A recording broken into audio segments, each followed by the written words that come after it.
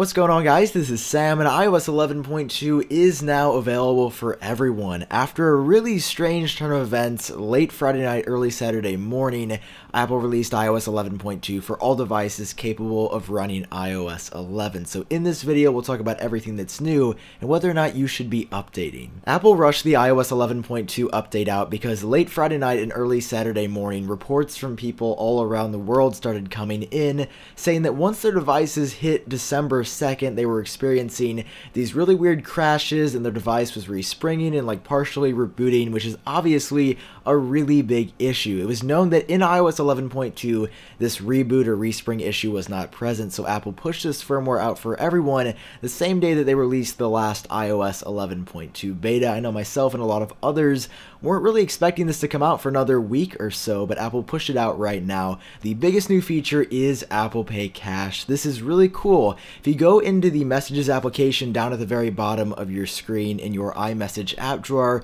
you're going to see a new option for Apple Pay Cash. It's the easiest way to send money. You go into the Messages app, you type in someone's name, and you can send them money through Apple Pay using iMessage. I've tested it out for myself. It's very secure, very reliable, and for me, it's easier than using something like PayPal or Square Cash just because it's built right into the Messages app, and the only thing you have to do is basically set it up through settings, but once you do that or once you go through the Wallet app, you're good to go and you can start sending and receiving money using Apple Pay and iMessage. Moving over to the iPhone 10, we got a few specific changes for that device only in this update. First of all, if you go to the lock screen, there is a new control center grabber in the very top right hand corner of the screen that looks like that. Not a huge change, but it lets you know on the iPhone 10 lock screen you can't actually drag down from there to access control center. There are also three new live wallpapers on the iPhone 10. Each and every single one of these looks really great when you press on them because they are live wallpapers. They're going to animate,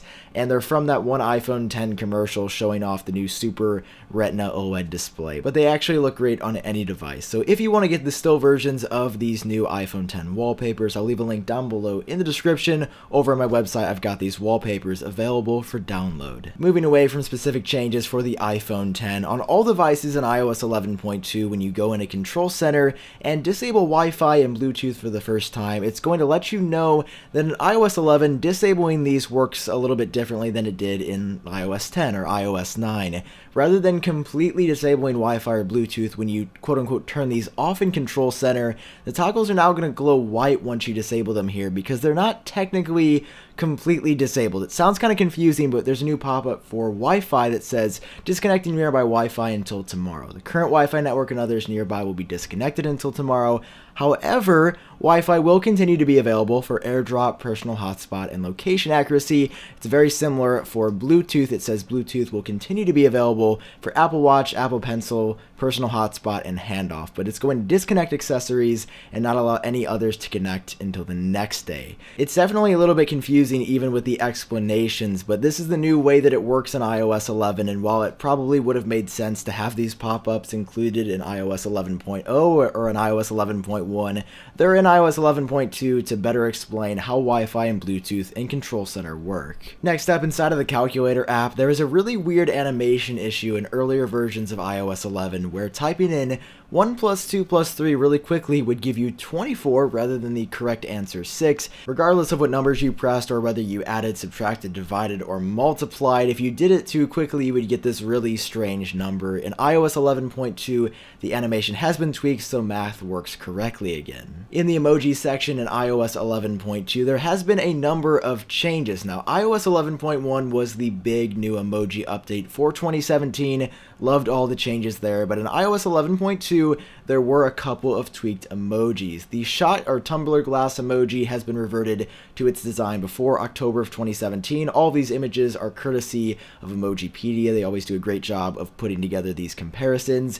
The ant was also tweaked right here. Next up, both the camera emojis in iOS 11.2 have been tweaked. They look a little bit more detailed now. I like that they show a larger lens rather than something like a point and shoot. The new versions look something closer to a DSLR or a mirrorless camera. All three of the the globes in iOS 11.2 have more contrast between the sea and the land, which looks pretty nice. There's also a wider mailbox emoji right here in iOS 11.2, which I actually like a lot better than the previous version. Following that, the fork and knife emoji, the fork, plate, and knife emoji, and finally the spoon emoji have been updated in iOS 11.2. These also look a little bit more detailed to me. You can see more shadows on here than you could in iOS 11.1, which I think also looks great. And finally, there's a new gear or cog emoji in iOS 11.2, looking a little bit different than iOS 11.1. Now, I was kind of surprised that Apple did not use the iUpdate OS gear for this, but if they reach out, I'm sure we can make something work. Moving on with some more changes inside of iOS 11.2, there is faster 7.5 watt wireless charging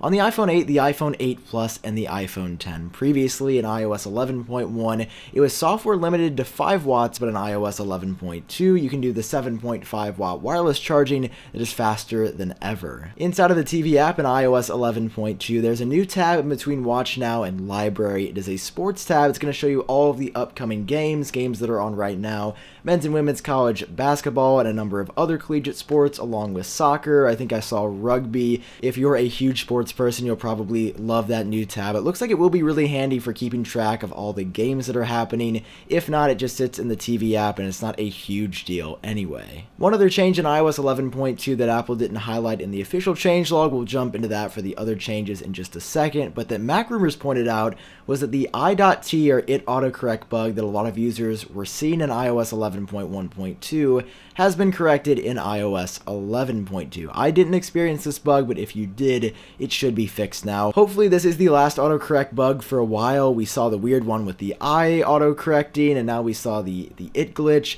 and I feel like I've seen a number of others like low-key popping up as well. Hopefully this is the last one. They're really annoying, and they definitely impair your typing experience, but for now it looks like things are getting better with autocorrect. So those are all of the major changes inside of iOS 11.2. It is a really big big update, but inside of the official changelog from Apple, there are so many other changes as well. I just want to pick out a few that I think are important because there are a ton of fixes. This is a really good bug fix update. It says that there's improved video camera stabilization. This is an issue that I was having.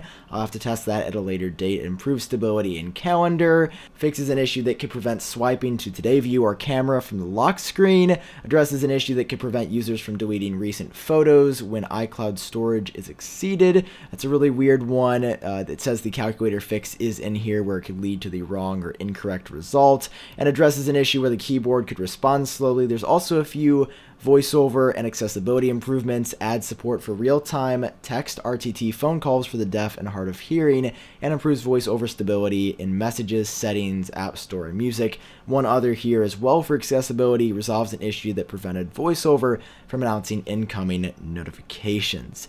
That is everything new in iOS 11.2 so far, but we do have a little bit more to talk about. Apple has not officially published the security updates in iOS 11.2, so make sure you check out my official blog post down below in the description. I'll be sure to update it with those details once Apple updates their security page. I also want to touch on battery life and performance inside of iOS 11.2.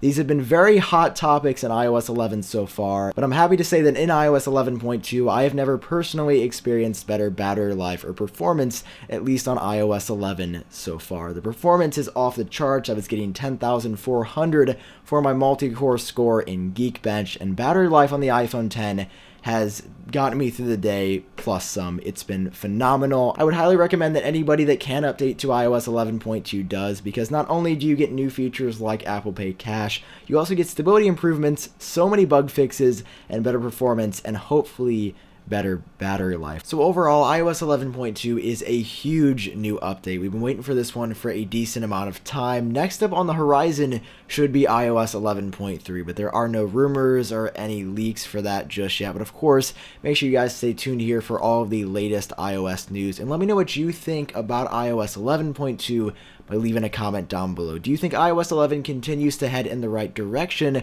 or do you think Apple has a lot of work to do in the backend? And also let me know if you were experiencing any bugs or glitches in the comments section as well, because I feel like iOS 11 is in a really good state. iOS 11.2 for me has been pretty much flawless on my iPhone 10, but because it's a newer device, it's probably working that way because Apple has focused so much attention to the details on that device. But if you're using an older device, let me know how your experience is on there. If you enjoyed this video, it does help me out if you take one second to drop a like down below, and of course, hit subscribe for more videos like this in the future. I also have new merch out if you want to help support the channel and get a t-shirt, it would definitely help me out as well. I've been Sam, I hope all of you are doing great. It is 4 a.m. in my time zone, super late, I'm exhausted, but this is a really big update that was worth covering right away. So thank you so much for watching, I genuinely appreciate that, and I'll talk to you in my next video.